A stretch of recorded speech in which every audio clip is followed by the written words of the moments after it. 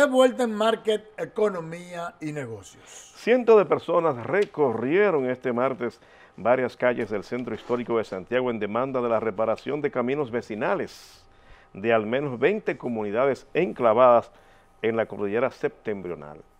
La marcha fue encabezada por el sacerdote católico Ramón Nino Ramos, quien explicó que decidieron salir a las calles a protestar porque están cansados de las promesas que en múltiples ocasiones le han hecho los funcionarios del gobierno. Las calles, los arroyos, el cedro, Quinigua y el jamo. Caminos vecinales que ellos saben que no sirven para nada. La situación de nosotros es crítica porque nosotros no tenemos ayuda de ningún tipo de gobierno. Bueno, la mayoría se nos pierden porque tú sabes que si llueve ni los caballos salen. ¿Qué productos se cultivan allá? El cacao, yautía, guandule, eh, aguacate, guineo, limones. Los gobiernos se han olvidado de nosotros y nuestros frutos se nos están perdiendo. Lo que ha sido el motivo de que la mayoría de campesinos han tenido que abandonar la loma.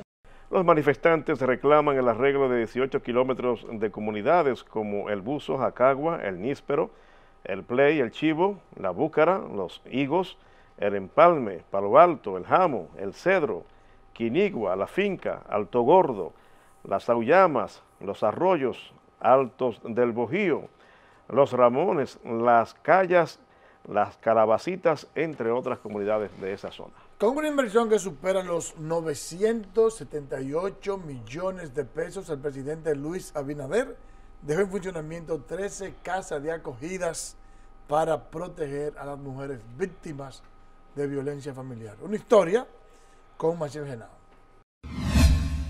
Gracias, muy buenas tardes. Cerca de 7.735 mujeres víctimas de violencia y trata de personas con más de 500 niños serán acogidos en los refugios que destina el gobierno para estos fines. El presidente Luis Abinader inauguró de manera simbólica 13 casas de acogida, una de ellas destinada específicamente a adolescentes y niñas embarazadas y con escasos recursos, que será dirigida por el Consejo Nacional para la Niñez y la Adolescencia, CONANI. Seleccionaron los municipios, los cabeceras de, de, de los municipios cabeceras de provincia donde había el mayor nivel de violencia.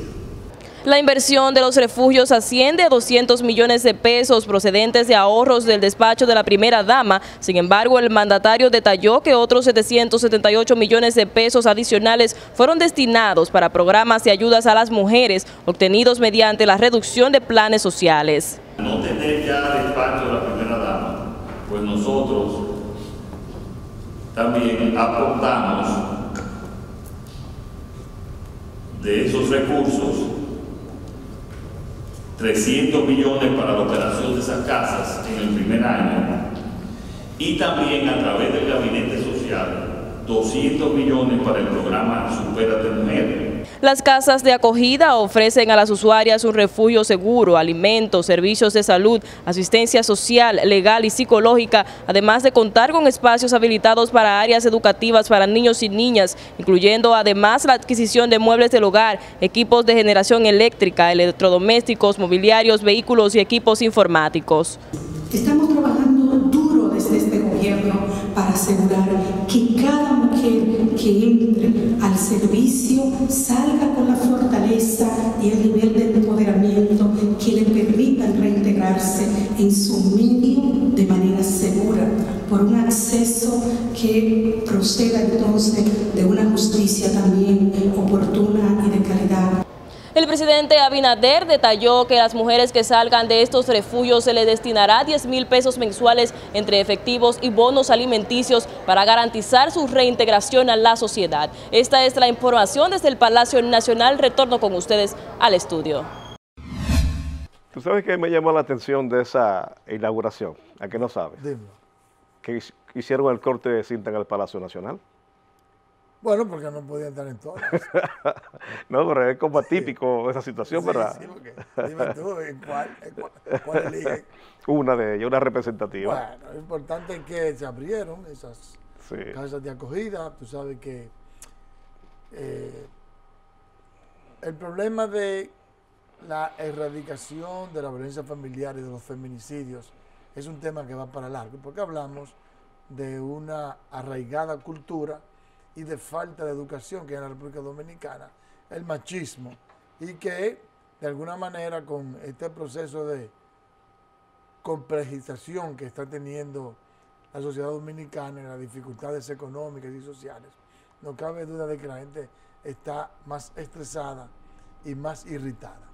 Mira, es plausible ese tipo de iniciativa. Ahora, yo quisiera saber qué porcentaje de las mujeres que han sido víctimas de abuso se acogen a las casas existentes. Porque hasta donde yo tengo entendido, muchas las rechazan. Es que hay muy pocas. Sí, pero muchas las rechazan. En las pocas que hay, muchísimas las rechazan. Y otras, después que estén ahí, se quieren ir de una vez. Bueno, hay que ir, hay, hay que ir eh, concientizando a la mujer y también mejorando la calidad del servicio que se está dando en materia de psicología, ese, ese tipo de cosas, y de los consejos y la asesoría que se le da para que vayan entendiendo qué es lo que está pasando. Porque la verdad es que incluso cuando hablamos de reforma de la Policía Nacional, hay que, hay que ir concientizando a la Policía Nacional de este tema, porque recuerda que las mujeres van a los cuarteles a poner, eso, eso se ha dicho en muchas ocasiones. Y la mandan para otro sitio. La querella y no le hacen ni caso. No, y la mandan para otro sitio. Eso no es aquí, tiene que ir a tal sitio. Exactamente. Entonces, hay todo un sistema de desprotección y además la propia mujer no está adecuadamente orientada.